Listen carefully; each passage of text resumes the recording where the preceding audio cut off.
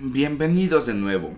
Quiero disculparme porque en el último problema estaba cerca del límite de tiempo que me da YouTube y siento que me apresuré un poco para realizar la solución.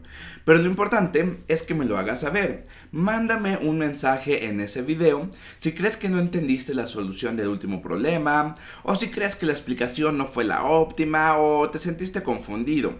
Es importante que tengamos una buena comunicación. Una vez dicho esto, vamos a hacer el siguiente problema, el problema número 9. Así que vamos a trabajar con el problema número 9 que dice lo siguiente. Por cierto, este problema está en la página 461. La parte decimal de este número, y nos ponen un número, déjame apuntártelo aquí. 5.101, dos ceros, 1, tres ceros, a 1, 4 ceros y así sigue y sigue y sigue este número. Muy bien. La parte decimal de este número solo contiene unos y ceros a la derecha del punto decimal. Al primer 1 le sigue un 0. Al segundo 1 le siguen dos ceros. Al primer 1 le sigue un 0. Al segundo 1, dos ceros. Al tercer 1, tres ceros. Al cuarto, cuatro ceros. Y así sigue. Y bueno, que nos preguntan, ¿Cuál es la cantidad de ceros que hay entre el nonagésimo octavo 1 y el centésimo primer 1?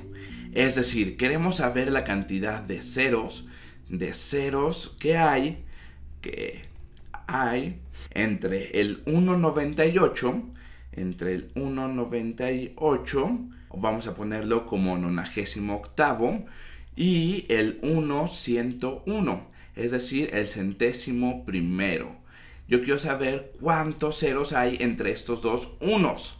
Entonces, esencialmente lo que hay que ver es cuántos ceros hay después del nonagésimo octavo uno, es decir, del 198, cuántos ceros hay después del nonagésimo noveno 1, es decir, del 1,99.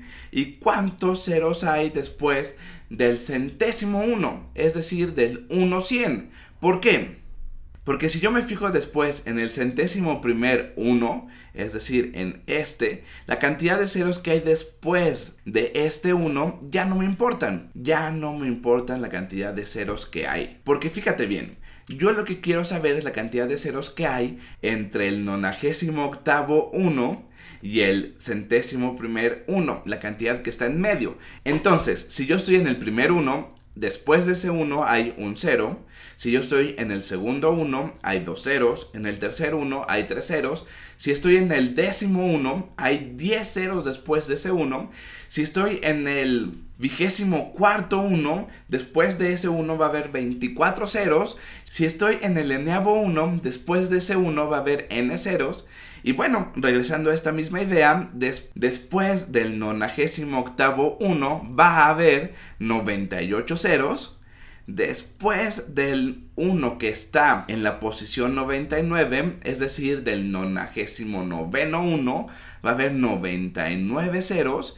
Y después del centésimo 1 va a haber 100 ceros. Fíjate bien, tendríamos algo por el estilo. Yo tengo aquí mi punto decimal y después hay un 1 y después hay muchos ceros y unos, muchos, muchos, muchos, hasta que llegamos a un 1 y este 1 es el que está en mi posición 98, el 98. Y después de este 1 va a haber un 0 y muchos, muchos ceros hasta que lleguemos a un 0 y después otra vez a un 1.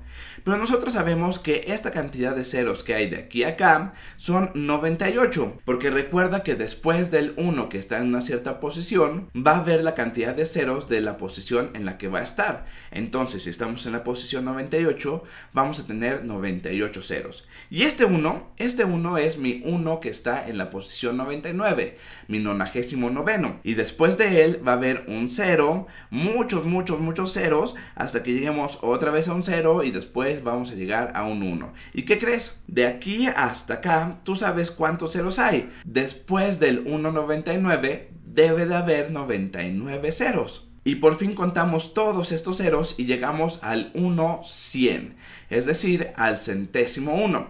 Y después del centésimo 1 va a haber Por cierto, aquí me falta un 5, entonces vamos a ponerlo para que no te confundas. Después de este centésimo 1 va a haber un 0 y también una cantidad muy grande de ceros hasta que lleguemos otra vez a un 0 y a un 1. Y la cantidad de ceros que va a haber de aquí hasta acá son 100 ceros. Y este es mi 1, 101. Este es mi 1, 101. Y después de este 1, 101, claro que hay 101 ceros. Sin embargo, ya no me importa. Porque yo lo que quiero saber es la cantidad de ceros que hay entre este 1 y entre este 1. Es decir, esta cantidad de ceros, esta cantidad de ceros, esta cantidad de ceros, que esencialmente es la suma de 98 más 99 más 100. Y la suma de 98 más 99 más 100, esto es lo mismo que 9 y 8 son 17 y llevamos una, 9, 9 y una y una, me quedan 30. Entonces 307 ceros va a haber entre mi nonagésimo octavo 1 y mi centésimo primer 1. Y este es el inciso... no, espera, no está 307. Aquí hay algo raro. Mm, hice bien la suma. Vamos a ver.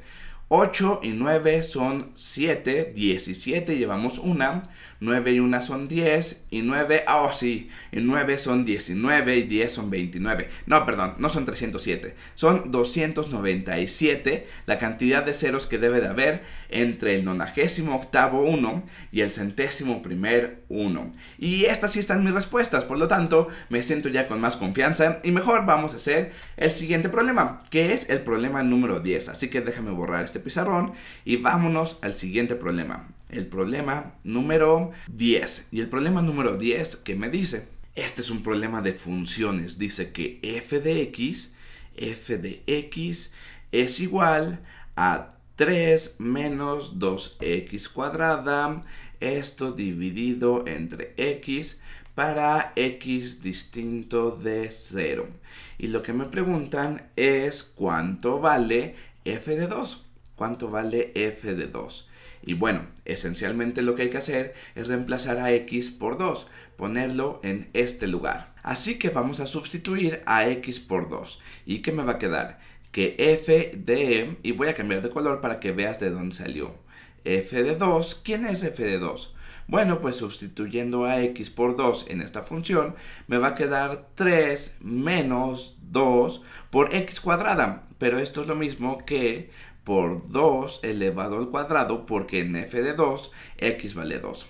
f de 2 esto elevado al cuadrado entre x, pero x vale 2. ¿Y cuánto es esto?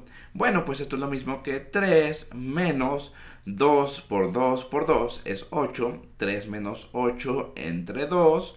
Y esto es exactamente lo mismo que menos 5 medios, menos 5 medios. Y esta es la respuesta del problema 10. Ya está. Que por cierto es el inciso D. Y el siguiente problema, el problema número 11, es un problema de geometría. Así que no creo que me quepa en esta parte. Y mejor vamos a borrar el pizarrón. Y vamos a poner aquí el problema número 11. Que dice lo siguiente. Y vamos a hacer la figura que está por aquí. Ah, para esto necesito esta herramienta. Muy bien, tengo una línea más o menos así. Tengo otra línea más o menos así, pero esta línea es perpendicular. Así que más o menos le voy a poner por acá. Y después tengo una línea que parece ser perpendicular a esta, pero me parece que no es perpendicular. La voy a poner algo así algo así porque realmente no es perpendicular a esta línea que por cierto me dan el nombre. Esta línea se llama N, este ángulo sí es perpendicular. Esta, esta línea se llama L, esta de acá se llama M y además tengo que este ángulo es X grados y este ángulo es de Y grados. Y bueno, lo que me dice el problema es lo siguiente. En la figura siguiente, la recta N y la recta L son perpendiculares. Aquí está, aquí los tenemos, perpendiculares. Y además, el ángulo X es mayor de 90 grados. Perfecto. Es decir, que este ángulo es más grande que de 90 grados y por lo tanto estas dos rectas no son perpendiculares. Muy bien, lo que me preguntan es, ¿cuál de las siguientes afirmaciones es verdadera? Y el primer inciso me dice, y es menor que 90 grados. Y creo que esta es la respuesta correcta. Fíjate bien, si yo tengo aquí una recta, voy a suponer que esta es mi recta n. Entonces, esta es mi recta n y por acá cruza mi recta m. Entonces vamos a ponerles nombres. Esta es mi recta n, esta es mi recta m, por lo tanto este de aquí es mi ángulo x que es mayor de 90 grados y este de aquí es mi ángulo y y lo que queremos saber es qué es lo que pasa con y. Entonces, lo primero que quiero que te des cuenta es que x y y son ángulos suplementarios. x y y son ángulos suplementarios porque juntos forman un ángulo de 90 grados. Es decir, que x más y tiene que ser igual a 180 grados x más y tiene que ser igual a 180 grados y aquí el inciso A me dice que y es menor que 90 grados. Si x es más grande que 90 grados, entonces y tiene que ser un ángulo menor que 90 grados, de tal manera que la suma de los dos me dé 180 grados. Imagínate, si y fuera igual a 90 grados, entonces algo más grande que 90 grados más algo de 90 grados me va a dar algo más grande que 180 grados porque 90 grados es la mitad de esto. Y si y fuera más grande que 90 grados, entonces algo más grande que 90 grados más algo más grande que 90 grados, pues en definitiva no me va a dar 180 grados. Por lo tanto, el inciso A parece ser la respuesta correcta que dice que y es menor que 90 grados. Y vamos a ver los otros incisos para realmente estar seguros de nuestra respuesta. El inciso B dice que y es igual a 90 grados. Eso no puede ser cierto porque entonces la suma no me daría 180 grados. El inciso C me dice que Y es mayor que 90 grados. En definitiva no. Se nota que Y no es un ángulo mayor que 90 grados. Recuerda que si fuera mayor o igual a 90 grados Y, entonces X más Y sería mayor que 180 grados. Y después el inciso D me dice N es perpendicular a M n es perpendicular a m, en definitiva no. Si este ángulo no es de 90 grados, entonces esta recta no va a ser perpendicular. Recuerda que para que dos rectas sean perpendiculares, todos sus ángulos que se forman deben de ser de 90 grados. Y por último me dice L es paralela a M. Por la misma razón, eso no puede ser cierto. Si no cruzan en el mismo ángulo, entonces estas rectas no son paralelas. Tarde o temprano se van a cruzar. Muy bien, entonces creo que me da tiempo de hacer el siguiente problema, así que vamos a trabajar en él. El problema número 12, así que vamos a hacerlo por acá. En el plano XY, así que pues nada, nos cuesta hacer un plano por aquí. Voy a hacer mi plano XY por aquí. Este es mi eje de las Y. Por aquí tengo, no, esto no me gustó.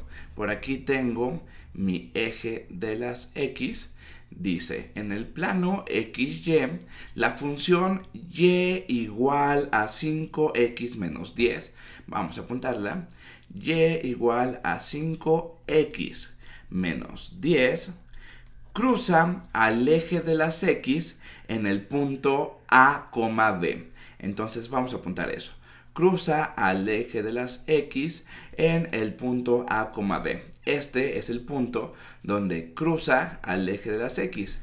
Cruza al eje X. Muy bien. Entonces lo que me preguntan es, ¿cuánto vale A? ¿Cuánto vale A? Esto es lo que yo quiero saber. Este es mi eje de las Y, este es mi eje de las X. Y bueno, si nosotros observamos esta función, de una manera rápida nos podemos dar cuenta que esta es una recta. Es decir, es una recta que se ve más o menos así. Esta es mi recta Y igual a 5X más 10. Y esta recta cruza tarde o temprano al eje X. Va a cruzar justo aquí al eje X en el punto A, B. Sin embargo, quiero que te des cuenta que cuando una función cruza al eje de las X, estamos diciendo que la coordenada en Y vale 0. Es decir, que siempre que tengamos una función y esta función cruce a mi eje de las x, date cuenta que y en ese punto va a valer 0. Por lo tanto, b vale 0. O dicho de otra manera, y vale 0 en este punto.